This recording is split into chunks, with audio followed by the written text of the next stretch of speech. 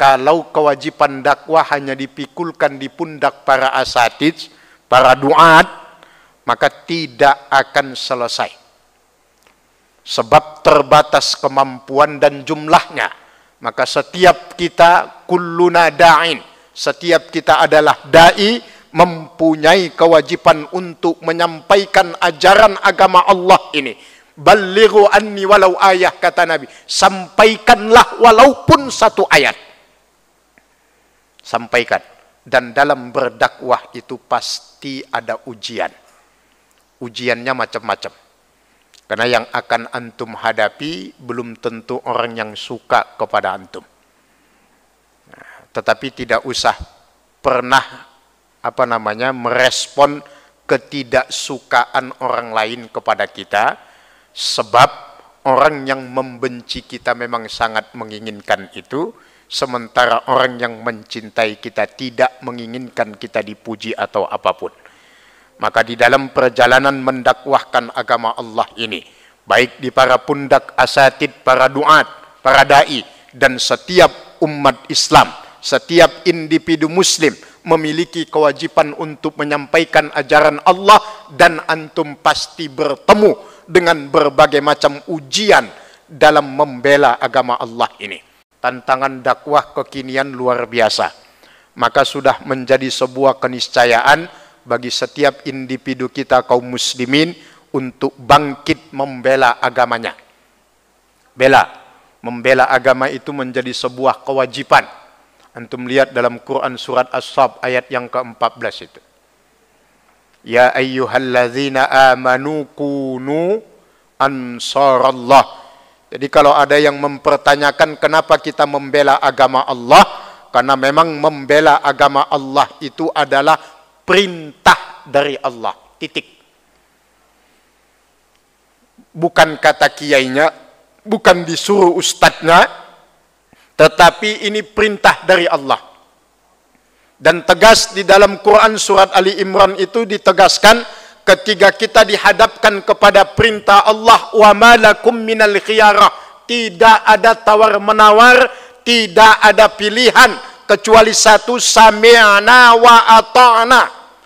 Maka beragama bertauhid berislam itu beriman kepada Allah itu bukan urusan mau atau tidak suka atau tidak ringan atau tidak ya pipat atau tidak kepada Allah.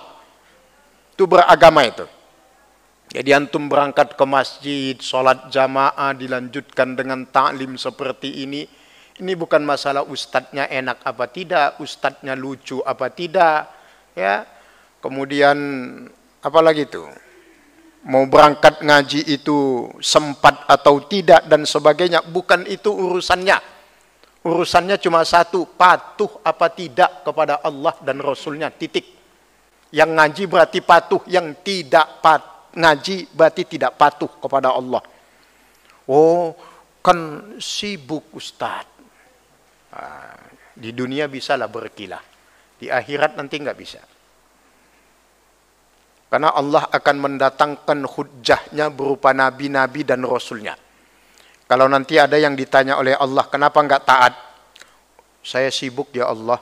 Saya ngurusin perusahaan, ngurusin yayasan, ngurusin ini, ngurusin ini. Nah, nanti Allah menghadirkan Nabi Sulaiman.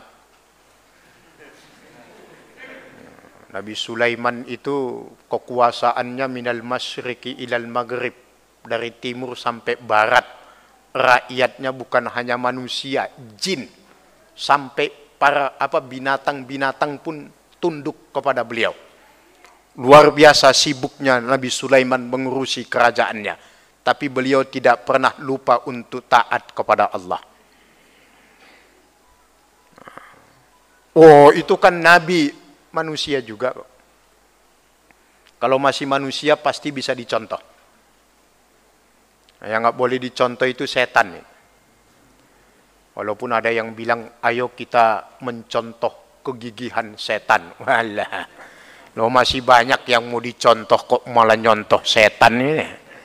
Allah, ini pada kehilangan akal sehat lama-lama orang Indonesia ini ya. Subhanallah kayak nggak ada kalimat-kalimat yang lain aja lagi gitu ya. Napas yang panjang untuk orang-orang yang begitu itu.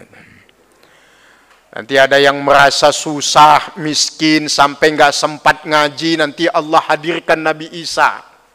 Nabi Isa itu paling miskin, melarat, di antara para nabi dan rasul paling miskin Nabi Isa. Tapi beliau tetap taat kepada Allah.